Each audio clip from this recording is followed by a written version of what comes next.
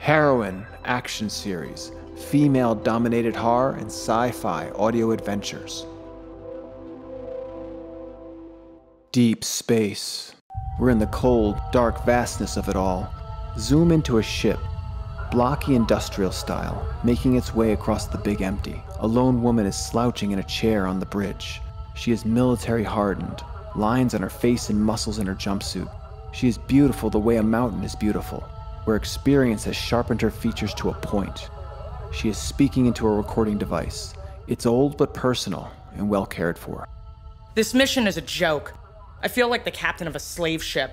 You already know the story. A few decades ago, we, as in humanity, found a new home. A large planet three times the Earth's size. We called it New Pangea. All the billionaires and CEOs went first. It wasn't until they all got there that they realized how much work needed to be done. Roads needed to be built, aqueducts, solar power arrays, satellites, and a sewage system, just to name a few. The affluent settlers tried to work at first, but they failed miserably. Even with the help of their droids, the workload was too much for them to bear. They came back exhausted from work each night to sit in their ecopods with their teacup poodles watching reality TV. The attendance of their fancy late night parties dwindled. They took less and less selfies on social media. Their glamorous lifestyles had begun to fade into a life of hard labor. After a few years of this, they had a meeting. They didn't move to this beautiful new planet to live the life of peasants working themselves into an early grave. So they decided that poor people should be able to pay their way into this life in New Pangea with 10 years of indentured servitude. Earth was a toxic wasteland, destroyed by our greed. You needed to wear a gas mask and shielded coat just to walk the dog. 10 years as a slave in New Pangea would seem like a vacation. That is where I come in. I've been deployed all over the solar system. I was in the Mars Uprising. I got the Medal of Honor from the War on Titan. Now here I am, herding a boatload of hyperspeed pods filled with construction workers, teachers, engineers, scientists, and service industry workers to their new lives of indentured servitude. Just one of seven megaships chock full of people looking for a new life. I can't believe I'm doing this bullshit. This is it, though my golden ticket. When we get there, I'll get paid and a few hundred acres of land. Intruder alert. Status Intruder alert. Incoming vessel. Shields up, on screen. The alien vessel was massive, almost the size of New Zealand. It was matte black with three fins that came to a sharp point. The ship opened its mouth. A tractor beam locked on and swallowed the smaller ship. Red alert! Charge the weapons! Wake the crew! Now! Miscalculation. Miscalculation. On the view screen, an image appeared three humanoids in a dark room.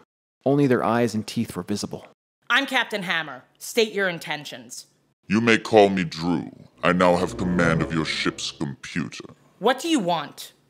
We want you and yours. Every last drop. Surrender now and you may yet live. No one gives me ultimatums on my ship. You may be disappointed with how this all turns out. The captain switched off the screen by hand. She went to her quarters and opened her weapons closet. She took two phasers, her hunting knife, and her grandma's lucky 38 special. She strapped the knife to her arm and slipped the ancient gun into her leg holster. From under her bed, she pulled a small metal suitcase. She opened the suitcase and pulled out six grenades, placing them on her bed. She pulled out duct tape and a small spring loaded timer and cobbled them into one haphazard device. Then Hammer put the contraption into an old backpack and slung it over her shoulder. She muttered to herself. No way in fuck are a bunch of space pirate goths taking over my ship. Not on my watch.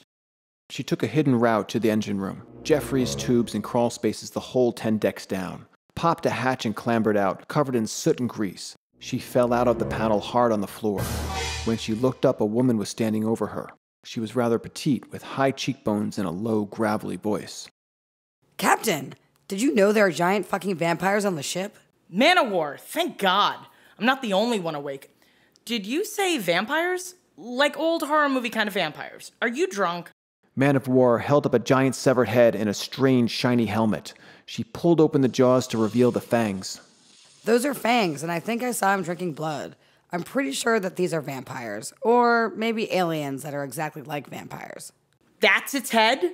How big are these things? They're really big, around eight feet tall. How did you kill it? Also, how are you awake? Wasn't easy. The computer wakes me up each month to check the engine and make sure everyone's pods are optimized. I was tuning up the solar generator when the computer went crazy. I've been trying to regain control, but I can't understand this language or break the codes. Then this big fucker came into engineering and I shot it three times with my phaser. The monster just kept coming and coming. So I took my laser drill and cut off his head. Their blood is white and sticky as all hell. It feels like eggs or cum or something. It's totally gross. Well, I hope you're down for a sequel. These big bastards are going down. I'm down to rumble. What's the plan? A large soldier appeared. He screamed in a strange language that sounded like a chainsaw backfiring in a broken arcade game. Manowar took out her phaser and started firing. Hammer flicked her wrist and the knife popped into her hand. Hammer jumped at the creature and tackled him, hitting him in the center of his body. The creature fell back surprised, and Hammer scrambled, ducking under its arm and sliding like a greased eel to its back, pinning the creature's belly down. The vampire bellowed and pushed off the ground, popping Hammer up like she was a child. Hammer cursed and held on, grabbing its forehead and turning the massive soldier like she was roping a steer. Get the laser. I can't hold this motherfucker for long. Manowar took out the laser and sliced off the soldier's leg. His screams were choked by Hammer. She held him steadily as he tried to break the hold. Then the soldier grunted out something in English. Don't kill me. Oh, wow. Look who speaks English all of a sudden. What's the deal, big boy? How do we get our ship out of here? Hammer loosened her hold enough for the soldier to speak. There is no escape. Every drop of blood on this ship will be ours. You know, normally we would be elated to find other sentient life forms. We would parlay and have an official dinner ceremony with hors d'oeuvres and champagne. But you big hairy motherfuckers hijacked my ship so you can eat my crew and my dog. So I'm gonna kill every single one of you blood sucking bastards. I am a soldier of the eternal blood. We will take your blood and join it to ours. Right, all is one. Now point us in the direction of your plasma drive. The plasma drive? A ship this big can't use propellant. They have to have a plasma drive, and if they have that, Gotcha. We knock out the core and then they go kaboom. good a plan as any. You will never defeat us. Crashes from behind the door. As you speak, my brethren hear my blood and call out to it. All is one. All. Manowar reached over and cut the soldier's neck with the laser. Sorry, he was getting repetitive and I got bored. We need to find the plasma drive.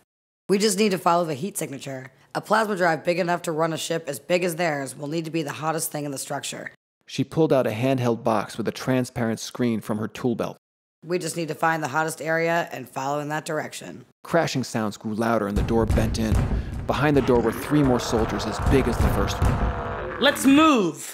Together they ran from the room, opening and closing doors, sealing them behind them. You were right, these aliens are vampires. Maybe. What do you mean, maybe? Man of War raps her knuckles on the door behind them. These doors are made for people our size, not eight feet tall. Those soldiers are not the ones that made this ship. Meaning? Based on what we saw, I think something is taking over bodies and controlling them. Like a wasp will take a spider or a fungus takes over an ant. That actually makes sense. The aliens that hailed me when they initially boarded looked different than these soldiers. They were smaller. Either way, we should be prepared to fight our way through a bunch of different creatures. The captain took out her knife and set her phaser to kill. Let's get to work. Manowar smiled. She watched the thermal detector and slowly turned round the room. The detector flashed different colors, then deeper red towards the ducts. Looks like we're going crawling. The ventilation ducts came up to their waist. They had room to move forward, crawling on their hands and knees. It was a tight squeeze. She bottled down her fear, clenched her jaw, and crawled. As they crawled, the tunnel grew hotter, uncomfortable at first, then sweltering. Shh, quiet. Her eyes widened as she heard it. Behind them, something was moving towards them. It was not the sound of knees and hands on metal. It was a softer sound, a wet, squishing, uneven rhythm. Had they not been so keyed up, they might not have heard it. Man of War looked at the captain's eyes and nodded. She put away her detector and pulled out her phaser. The captain held up a finger.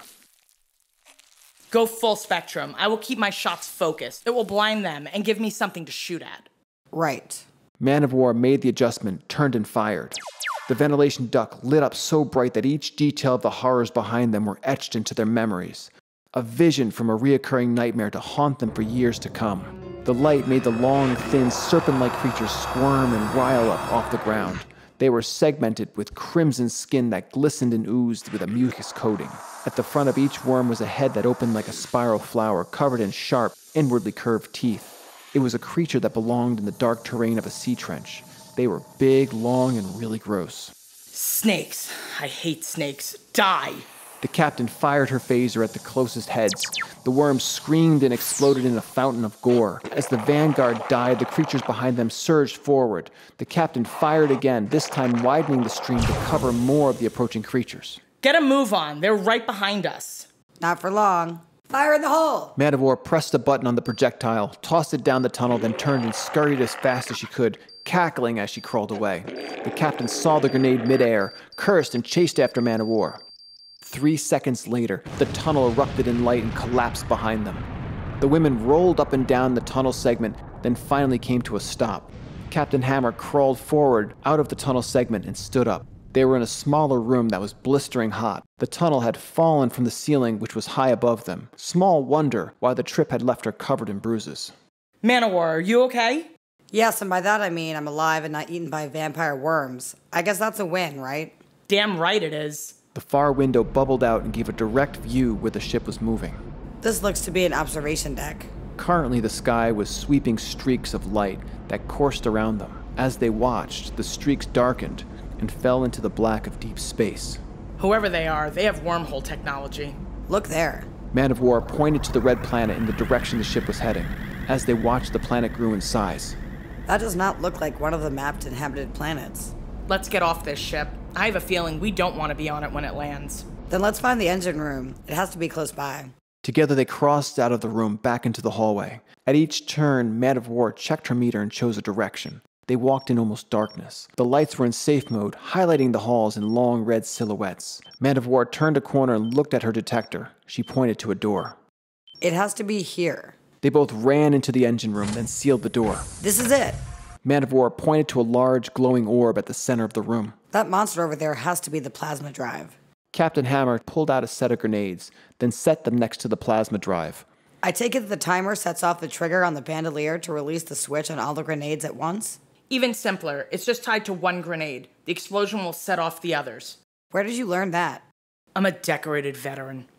You know what? Never mind. I don't want to know. No, you don't. Look around to see if you can find a schematic of the ship. There should be something that shows where the head or the energy is going via the tunnels. Found it. Here's the bridge. The two women carefully sneak down the hallway, weapons in hand. They come to the bridge. Captain Hammer opens the door, fires on the oncoming soldiers, then rushes in with Man of War. The bridge is populated by 10 vampires. They are smaller than the soldiers, the original vampire that hailed them, and a few others of similar stature. All are unarmed. Manowar, doors. Aye, Captain. That will give us a few minutes to talk before we're interrupted. You have moments, not minutes. Soon your blood will be purified and we will be one. Captain Hammer turns to the nearest vampire and shoots him in the face. Now he's one with the floor. The vampire master, Drew, looks at the fallen crew member and shakes his head. You will regret your hasty actions. I don't respond well to threats. Captain Hammer turns to her left and shoots another vampire in the face. The rest of the crew scream and rush to the far corner of the room. Drew stands his ground, but his eyes grow wide and his hands are shaking. Let me guess. You all have some sort of telepathy thing going on, right? Are you feeling this? The captain advances, aims at one of the crew cowering in the far corner, and shoots him in the back. The rest of the crew scream. Now, what happens when someone that is part of the whole ceases to exist? The captain shoots again. Another vampire drops. Do their experiences and thoughts continue, or do they cease to be? The captain shoots twice and drops two more crew. The captain advances on Drew. The vampire master steps back and bares his teeth. Are you afraid to die? I would guess that you are. Drew watches the captain and keeps eye contact while she lowers the phaser to his head. Earthlings. Redundant, pointless earthlings. The same as your simian ancestors, scurrying from one nut to another, crashing against the waves of time. For you, death is the end. For me, it is a passageway to my ancestral home. Okay, time to talk, Space Goth. Who or what are you? How did you find my ship? Why would a ship this size know where to come out of hyperspace to find a crappy transport such as us? I have lived a thousand lifetimes on countless planets. I have won victories that stretched across solar systems and suffered deaths so terrible that religions were founded on my grave. Nothing that will occur in this room in the next few moments will move me. The captain shoots next to his foot and he jumps back. You poor simian trash. You were born into a world of chaos. This ship is a collection of many different alien species working together for one purpose. Creatures from across the cosmos that have been subjugated by my blood. Yet you and your minion. Who the fuck are you calling a minion? Don't you understand? You were given to us as tribute. Your human masters gave you up willingly as payment for safe passage. We found their robot sentries and infected them just as easily as we took your ship. They sued for peace and negotiated. The terms were explicit. For each life we spared on their new planet, seven lives would be given in return.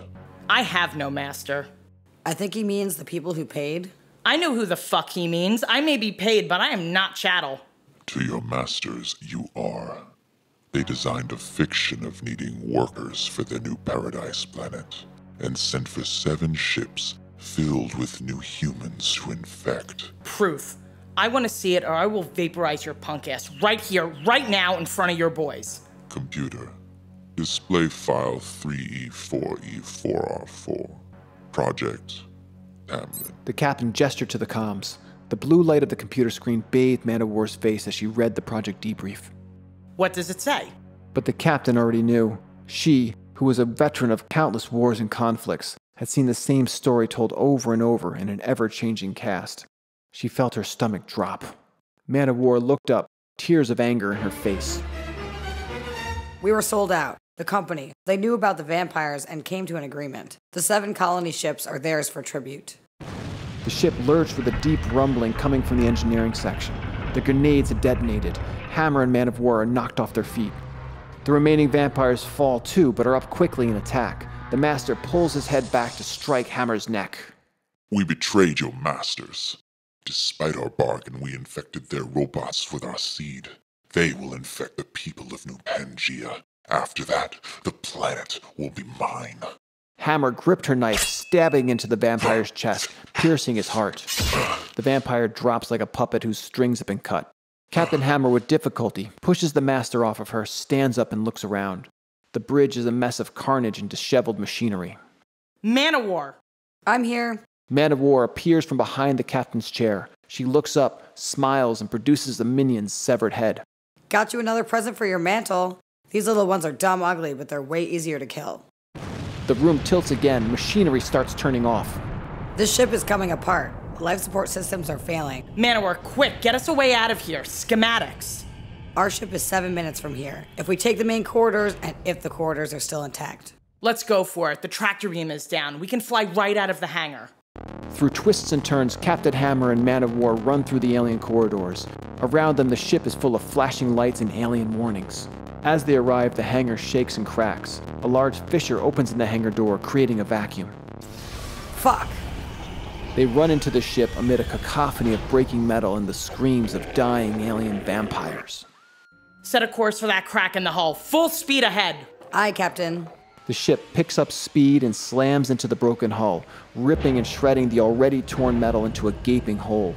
It breaks through as explosions tear apart the vampire vessel. Man of War and Captain Hammer hold on. Before them lies the Red Planet, full of danger and the unknown. This ship has been designed for re-entry. It should hold up. Grab a seat and buckle up. We're in for a bumpy ride. I'm going to bring her down on the surface. Get me some info on this planet. I want to make sure we don't land in a pool of lava. Lots of water in the atmosphere. That's where the red color is coming from. I imagine it will be humid, sweltering. The thick atmosphere prevents the starlight from reaching the surface. Swell, we can survive, but it's like a swamp on top of a mountain. The ship rattles and rumbles as it approaches the surface. Captain Hammer grunts, flips a switch, and kills the alarms. Closer and closer they come to the surface until, with a teeth rattling lurch, they land. Are you okay? I'm alive, which is better than I thought I'd be a few minutes ago. Hey, how many hypersleep pods are still in the bay? Only 12 and a half left. They must have unloaded all the rest. That's over 200 casualties. Okay, let's wake them up. We need support. Also, what's the half pod? Good news, Captain. It's your dog. He's still alive. Spock! Oh, thank God! They woke the 12 colonists and the Australian shepherd from their pods. Three bartenders, three servers, three truck drivers, and three line cooks. Not a single soldier among them. They assembled on the loading dock. As you all know by now, our ship was attacked by hostile vampire like aliens that have marooned us here in this strange world. Keep your eyes open, your mouths shut, and phaser set to kill. Okay, let's go outside and take a look. The captain and crew venture out. The land is bathed in mist and overcast in deep maroon. The rays from the nearest star come only in shades of rust. Here is eternal night, a planet of monsters. Where to, Captain? There. The captain points in the distance. There's a shiny beacon, silver light high up in the mountains past the swamp. Let's get some answers and find a way off this rock. And if we can't find either of those, we'll get some motherfucking payback.